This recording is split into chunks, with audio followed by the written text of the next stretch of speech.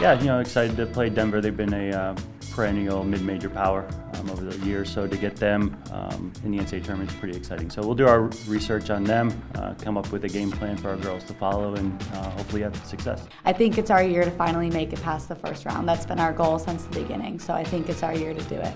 The main focus is obviously to win the game first and foremost, but I think um, we're just going to be a lot more composed. It's obviously our third year here, so we kind of know what it's like a bit. We've had some experience, like a lot of people have had a one or two years in the NCAA tournament, so I think this is really our year. You know, we, we asked so much of them to sacrifice to keep our bubble safe, to do a lot of uh, training on their own, rehab on their own. Uh, it took a lot of self-discipline uh, and sacrifice on their end. So it just shows to the, um, the mature group that we have um, and how focused they are on winning and they were willing to do all the little things to get us to this point. So a lot of credit goes to the players. I mean, it, it's all on them.